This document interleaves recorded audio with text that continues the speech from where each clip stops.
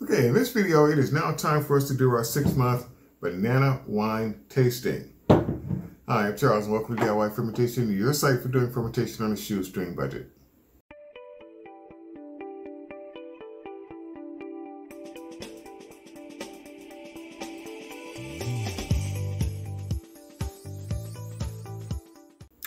Okay, six months ago when I started making this banana wine, I have to admit, first of all, I never heard of banana wine. Okay, that was that was number one.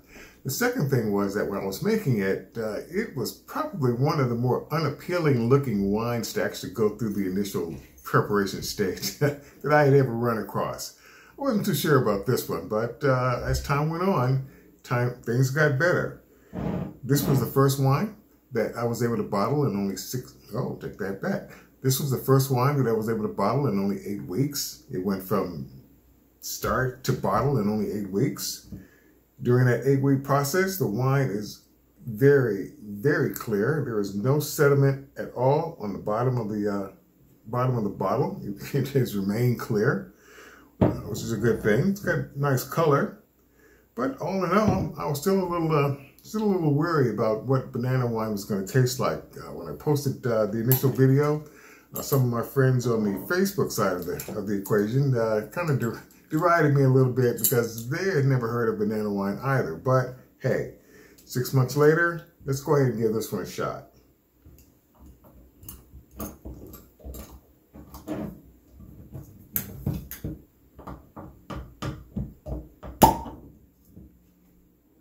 Okay. Hmm.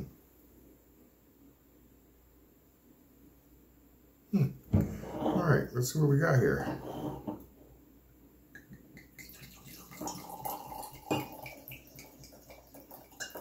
Just a little bit. The wine was back sweetened uh, prior to bottling.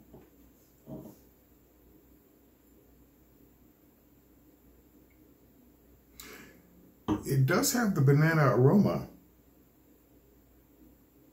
It's not a strong banana uh, smell, but it does have that banana aroma. And you can also, yes, you can also smell the alcohol. This one came in at 14.9% ABV, so it's, it's, got, it's got a little kick to it.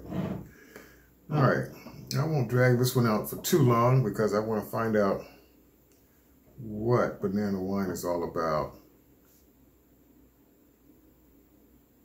Okay.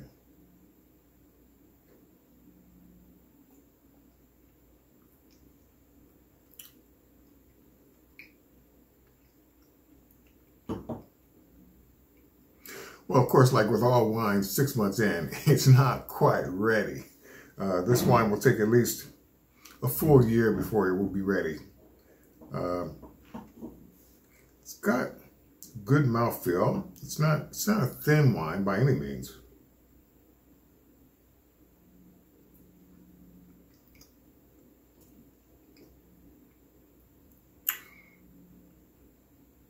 Hmm. Still too early to tell. Six months is not quite enough time for this wine. I think it's got potential, but it's not quite enough, not enough time.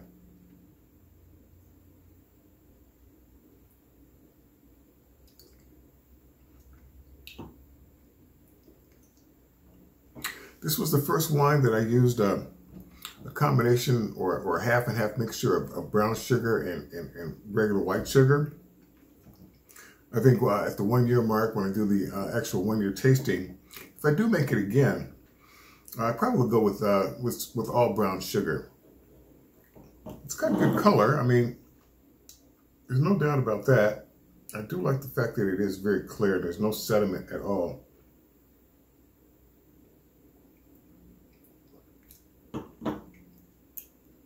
So to touch on the dry side, uh, probably could use just some additional back sweetening just to make it more of a sweeter wine. I mean, you can do that really at any point in time. I mean, fermentation had stopped. Uh, this was one of the first wines.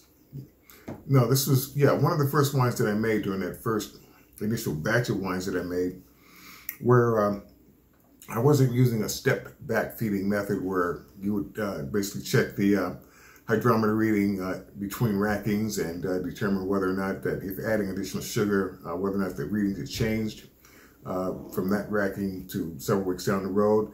And this one I think I used, in fact I know I used xylitol, which was a non-fermentable sugar.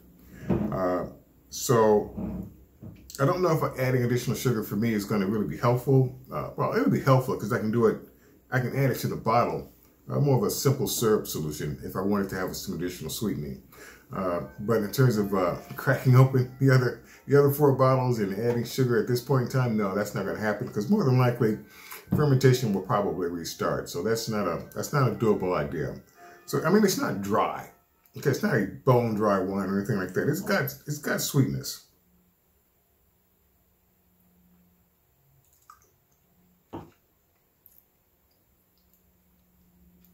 It's got sweetness. But as far as a banana wine is concerned, um, it's actually not too bad, even at six months. I really am going to wait until that one year period before I open up any of the any of the other bottles uh, for tasting. It's not going to be like some of my wines where I'll be lucky if I if I can save a bottle for one year. But no, this one will probably uh, uh, go the one year mark uh, for the remaining four bottles. I'm in no hurry. Uh, I was just kind of curious about the taste of a banana wine and